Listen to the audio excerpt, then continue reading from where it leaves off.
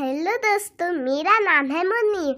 मैं नर्सरी में पढ़ती हूँ, सबको टाटा बाय करती हूँ। छोटी सी मुन्नी, लाल गुलाबी चुन्नी, नीले वाले सूट में, चमचमाते बूट में, नर्सरी में पढ़ती है, सबको टाटा करती है। टाटा।